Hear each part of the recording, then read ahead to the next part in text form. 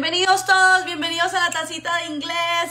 Yo soy Teacher Erika, ¿cómo amanecieron? Muchachos, tengo buenas noticias y malas noticias. Malas noticias es que hoy Paloma no puede venir porque hay un pequeño problema en el satélite de la radio.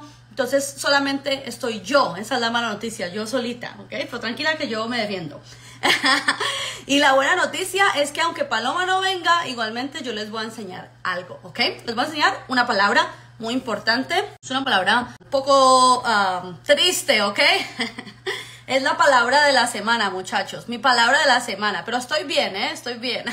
la palabra abrumador. ¿Cómo se dice eso en inglés? Porque es la primera es la primera semana de mis clases de verano y siempre la primera semana de mis clases de nuevas, cuando abro un curso nuevo, eso es una locura. Así que esa palabra es la palabra del día de hoy.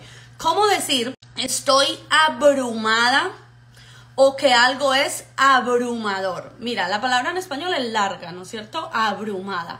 En inglés también va a ser larga, está compuesta de dos palabras. Vamos a empezar con la primera parte, que es over, que ustedes ya se la saben. Ya se la saben porque todo el mundo sabe game over. Ese over, así empieza. Over. Repitan conmigo, muchachos. Over. No O, sino O. ¿Ok? Y la V la vamos a meter la vibración. Over. No over. Over. Over. Esa es la primera parte. Over. Y ahora le vamos a meter la segunda parte que es whelmed. Whelmed. Whelmed. ¿Ok? Mire cómo se escribe. W V, H, E, L, M, E y D. Over y luego whelmed. Overwhelmed. Está dividido en dos palabras, pero hay que pegarlo todo. Lo pegamos todo y decimos overwhelmed. Es un adjetivo que dice abrumado o abrumada. Recuerden que los adjetivos en inglés no tienen género niño o niña, sirve para los dos. Entonces, yo soy chica, I am overwhelmed. Y tú, si eres un chico, también puedes decir lo mismo.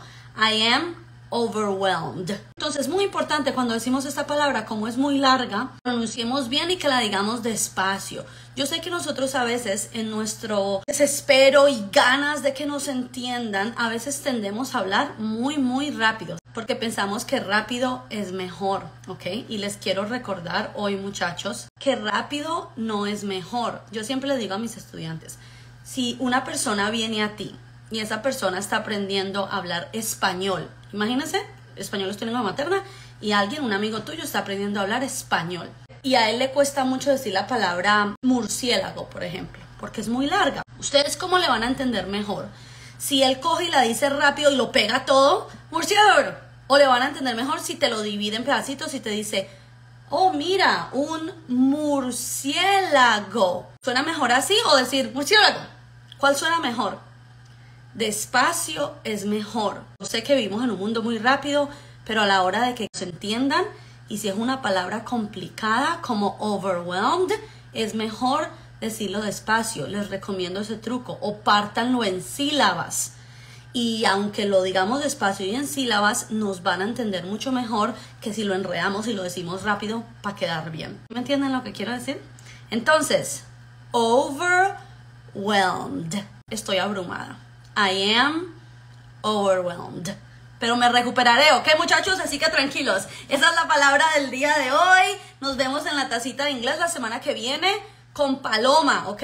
Y saludos a mis chicos de Call Art que me regalaron mi tacita tan divina que yo amo. No se abrumen mucho así como yo, overwhelmed. Practiquen y recuerden, despacito. Piensen en Fonsi, ¿ok? Chao.